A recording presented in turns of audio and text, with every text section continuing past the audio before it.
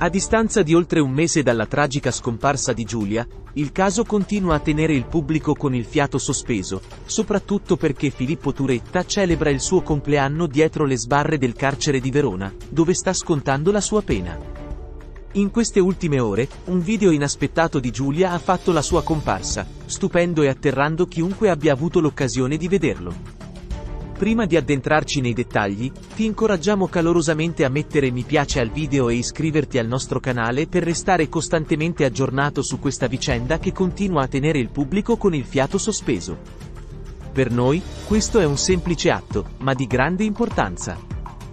Dopo la tragedia della morte di Giulia Cecchettin, emerge un lato oscuro della società, individui che, con insensibilità, continuano a pubblicare sui social post di cattivo gusto.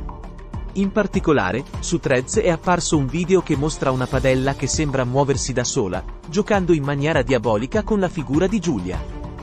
Il post è diventato virale in pochissimo tempo, suscitando indignazione in numerose persone. Mentre molti condannano con fermezza tale iniziativa, c'è chi, incredibilmente, elogia l'azione, amplificando la reazione con ulteriori post. Alcuni di questi post sottolineano che Filippo Turetta sembra apprezzare il video, continuando a far fronte alle difficoltà della sua detenzione. Questi sono solo alcuni esempi di post aggiuntivi che circolano insieme al controverso video.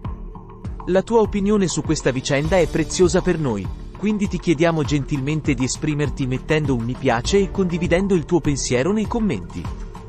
Non dimenticare di iscriverti al canale e attivare le notifiche per rimanere costantemente informato su ogni sviluppo di questa intricata storia.